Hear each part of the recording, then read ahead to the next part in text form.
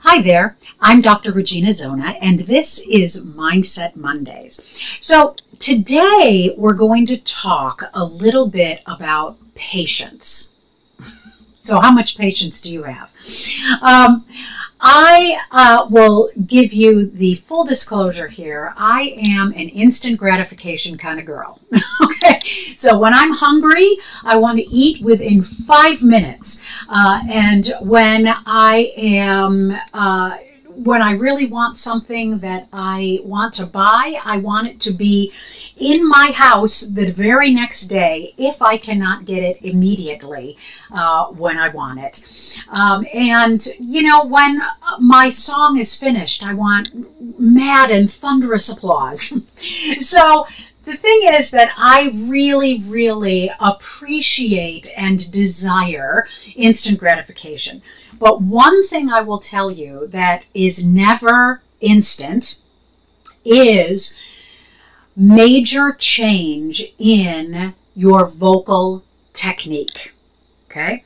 When it comes to vocal technique, it takes time for change to happen. Yes, of course, there are some tricks uh, in all styles of singing that can actually get you to achieve a particular result in the short term, but in the long term, those tricks rarely, rarely work.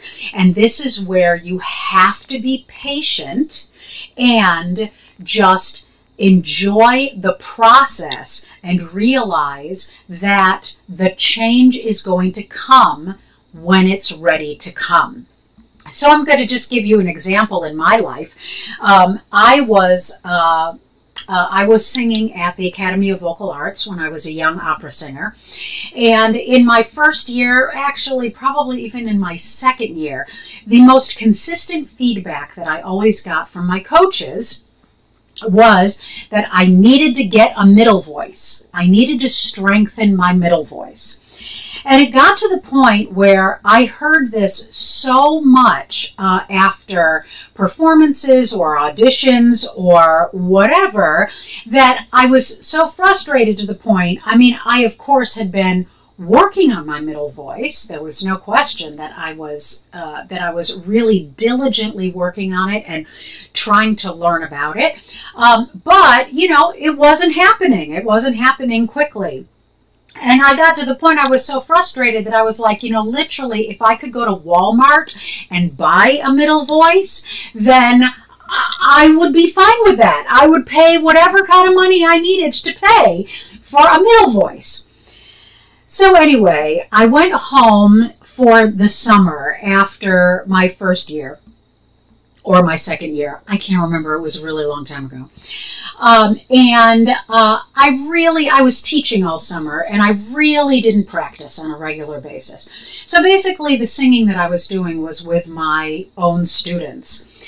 And um, what ended up happening was I went back to AVA the next year, the next fall, and I started to sing. And lo and behold, there was my middle voice. It just appeared. It happened. Now, of course, I was trying to apply the techniques that I had been working on for a year or two or however long it was. But the thing was that finally everything aligned. My body, my mind, my breath, everything aligned, and my middle voice came in. So I wasn't very patient, but eventually it happened when it was ready to happen. So I'm here to tell you that if you are working on particular technical issues in your singing, quick fixes are not going to help you in the long term.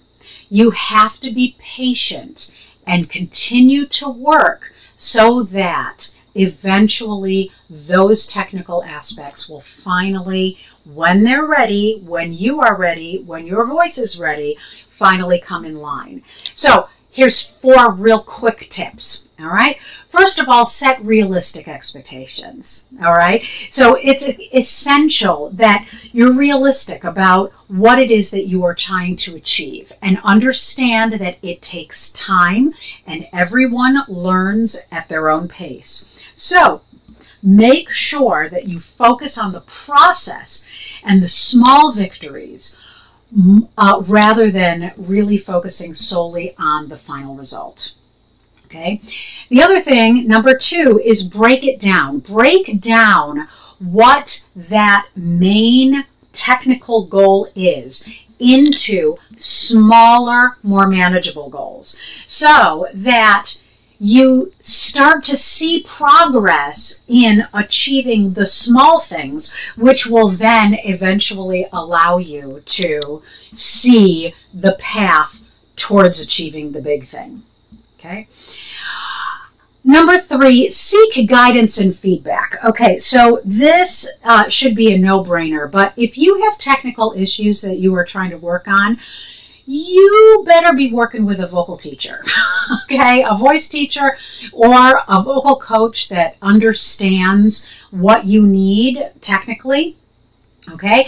They are there to be your ears because you can't trust your ears. And so they can hear what it is that you need and guide you along the pro- process and give you those places those those little um, uh, those little victories. They can hear when those little victories are coming in and reinforce uh, your process as you go through it and and deal with the issues.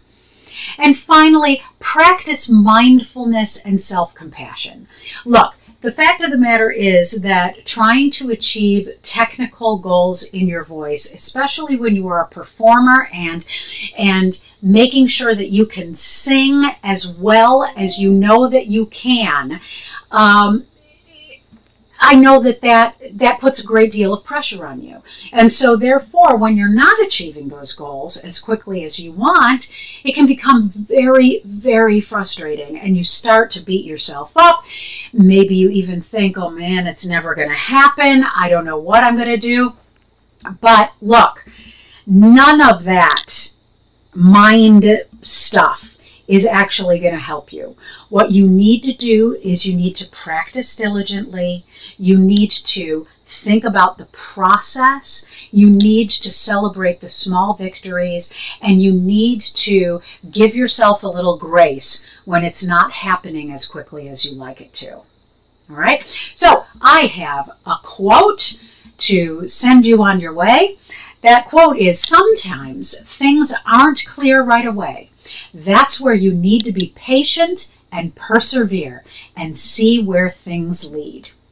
Mary Pierce said that. So I leave you with another great quote Patience, young grasshopper. I'll see you next week.